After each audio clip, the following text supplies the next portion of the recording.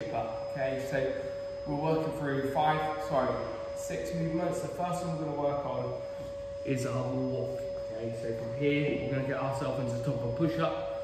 Okay, nice flat body, foot's going to come up, keeping the back nice and flat, walking in.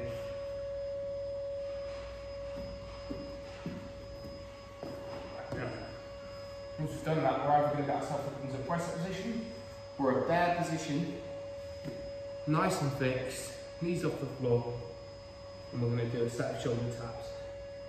Trying not to shift. Left to right. After that, moving straight into our alternating or straight leg leg raises.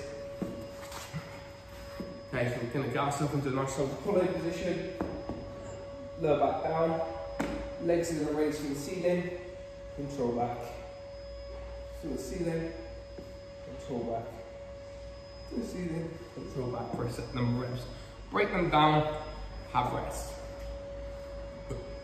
Straight after that one, we're staying in that hollow position. For our dead bug.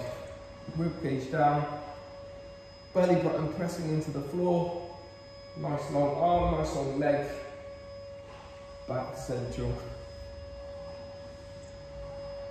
back to central, back to central.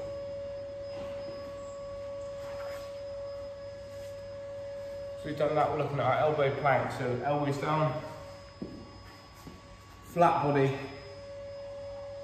nice strong position. I'm going to hold this position for a decent amount of time. And 90% not least we do not push-ups. So we know a couple of mechanics things. We're looking for those elbows tucked in, pushing away. Okay, we can do this on our knees, we can do this on our feet. Okay we like. Elbows to the floor, control back out to lock out. Elbows to the floor, control back out to lock out.